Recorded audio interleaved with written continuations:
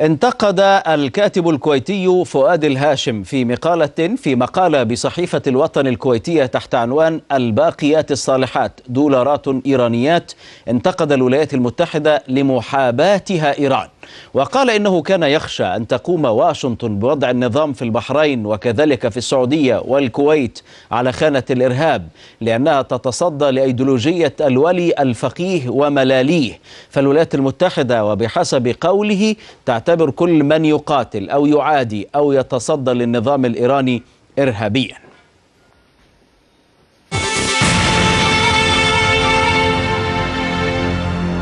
نحن معنا كاتب المقال السيد فؤاد الهاشم الكاتب الصحفي وصاحب مقال هذا الأسبوع لنناقشه فيما جاء في هذا المقال.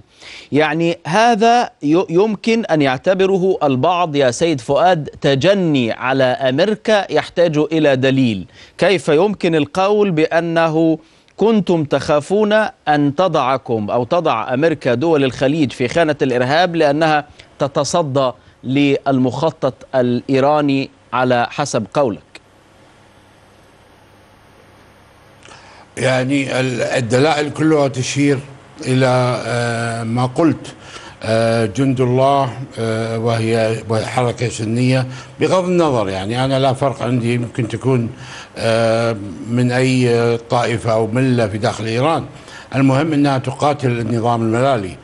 أو حركة جبهة تحرير الأهواز المنسية وكذلك مجاهدي خلق المتروكين والذي داهمت دبابات نوري المالكي معسكرهم قبل أيام.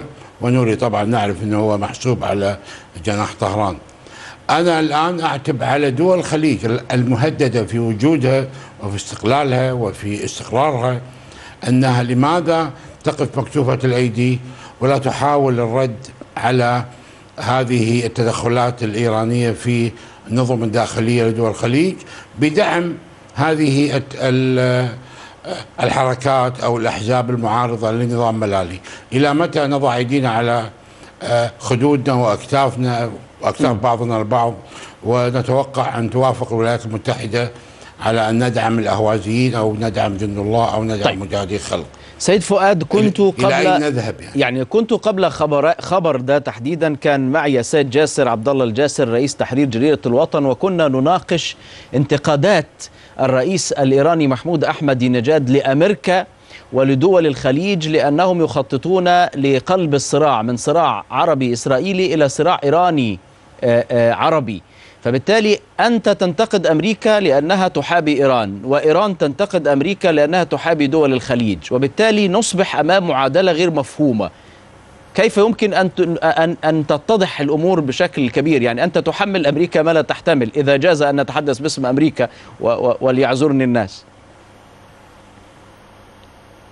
يعني أنت هل تصدق أحمدي نجاد فيما كل كل ما يقوله هل الشيعة في في دول الخليج تدعمهم الولايات المتحدة الأمريكية؟ هل شبكة التجسس اللي بالكويت اصطدناهم كانوا كلهم مواطنين أمريكيين وبدعم أمريكي و هل ما حدث في البحرين كانوا الذي يدعمه الألمان والطليان والنرويجيين هم الذين ساهموا فيما حدث في البحرين؟ ماذا يحدث في المنطقة الشرقية أيضا كذلك في السعودية؟ يعني المسألة واضحة تماما. آه إيران وراء كل هذه الأمور. الصمت الأمريكي عن الحركات المناهضة لها. وأنا قلت في اللي كتبته في مقالي أنه أين ذهب مبدأ عدو عدوي صديقي؟ طيب يعني ماذا تريد من أمريكا تحديدا أن تفعل؟ من الشعوب أنا أنا يعني أنت تطالب ماذا تريد من أمريكا أن تفعل مع إيران أن تضربها عسكريا مثلا؟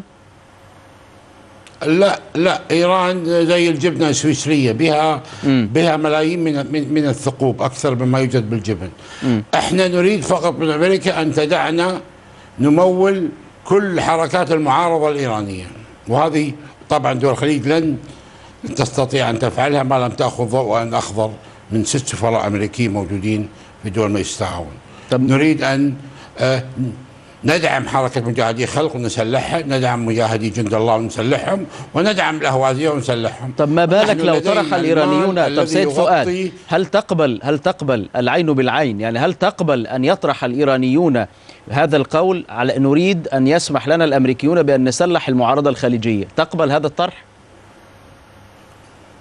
أين هي المعارضة الخليجية؟ بالكويت لا يوجد عندنا معارض كويتي موجود في الخارج مشكل تنظيم. والمعارضة السعودية أربعة في لندن مقيمين ساكنين في أوكسفورد ستريت وبالتالي إحنا نتكلم عن شعوب مضطهدة. إيران اضطهدت أكثر بكثير مما لدينا من معارضة خليجية. وبعدين اوريدي إيران قاعدة تسلح بال- بالمال وال والأيديولوجية وصلت حتى حتى لغزة في عملية تحويل الناس من مذهب إلى مذهب. يعني أنا أسمع والعالم كله إنه ال- الكنائس في أوروبا وأمريكا تذهب إلى الغابات الأفريقية لكي يبحثوا عن القبائل الهمجية ويدخلوها في الدين المسيحي. إنما أول مرة نفهم إنه إيران تدفع أموال لمسلمين في غزة ينطقون بشهادتين لكي تحولهم إلى مذهب آخر. إذا المسألة ليست مسألة دين بقدر ما هي مسألة آه، تشكيل لوبي وتشكيل مذهب سياسي للضغط. إحنا دول الخليج ليس لدينا معارضة نخشى أن تسلحها إيران. شكرا جزيلا على السيد فؤاد الهاشم الكاتب الصحفي وصاحب مقال هذا الأسبوع الذي ناقشنا. شكرا جزيلا لك.